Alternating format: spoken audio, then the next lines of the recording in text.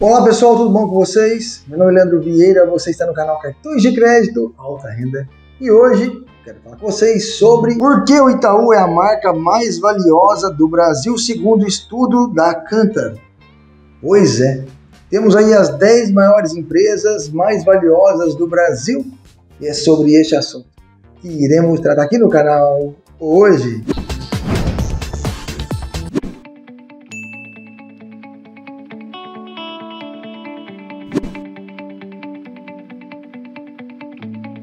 Thank you.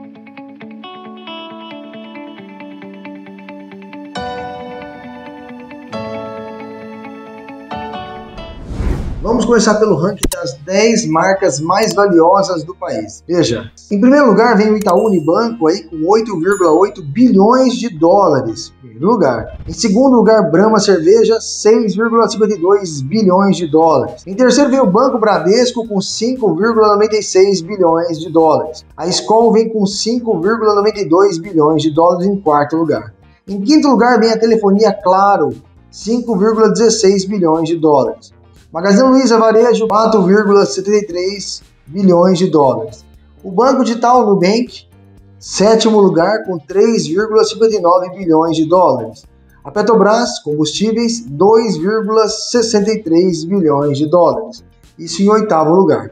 Em nono lugar vem a Vivo Telefonia, 2,60 bilhões de dólares. E por fim, em décimo lugar, Antártica Cerveja, 2,46 bilhões de dólares. Ranking das 10 empresas mais valiosas do país. Tá? O Itaú é a marca brasileira mais valiosa pela segunda vez consecutiva, apontou o Brands Brasil 2021-2022. O ranking considera apenas as marcas brasileiras que têm capital aberto, ou seja, com ações negociadas na bolsa, mas porque o banco continua na liderança de estudos. O investimento em inovação é uma das razões, segundo Milton Souza, CEO da divisão Insights da Cantar, consultoria que assina o relatório.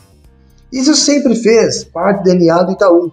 Sua consistência em seguir esse caminho ao longo dos anos é um dos fatores de sucesso da marca. É a prova de que essa estratégia é percebida e valorizada pelos consumidores, o que se reflete no excelente desempenho financeiro da empresa, diz o executivo. O desempenho financeiro é o primeiro fator considerado na metodologia da Kantar para elaborar o ranking. O outro é a contribuição da marca. Marcas mais confiáveis. O relatório faz outro recorde, apontando as marcas mais confiáveis do público: Sadia, Ipiranga e Petrobras. A Sadia se baseia na confiança que ganhou ao se diferenciar da concorrência por meio da comunicação e produtos inovadores, com uma extensa rede de distribuição. Também tem investido no desenvolvimento de produtos que atendam a uma crescente demanda do consumidor por conveniência, destaca o relatório. Troca de marca no top 10. O executivo também fala sobre intensa troca de marcas no top 10. Em relação ao relatório anterior a 2020, saíram Globo, Renner, Amil e Sadia e entraram, claro, no Bank Petrobras e Vivo. E eu convido vocês a assistirem nossos vídeos, a curtirem nossos vídeos, não pode deixar de dar aquele like, se você quiser também. Nós temos o clube do canais, o clubinho do nosso canal Cartões de Crédito Alta Renda. Temos as versões iniciante, pleno, amo alta renda, sou Black Card Luxo, onde o Black Card Luxo leva você para o grupo do WhatsApp, onde você pode falar comigo, tirar dúvidas, informações no nosso WhatsApp para o grupo Black Card Luxo.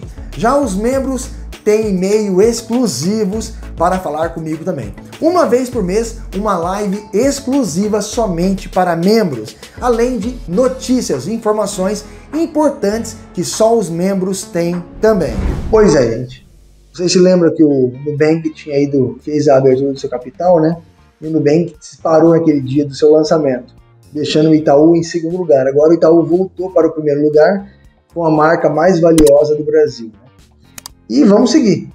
Trouxe para vocês esse assunto para que vocês conhecessem um pouquinho dos valores, o quanto vale a marca da instituição que você gosta dentre essas 10 que eu acabei de falar. Pessoal, eu espero que vocês tenham gostado desse vídeo aqui no nosso canal cartões de crédito alta renda no quadro As Rapidinhas do Alta Renda. Até o próximo vídeo.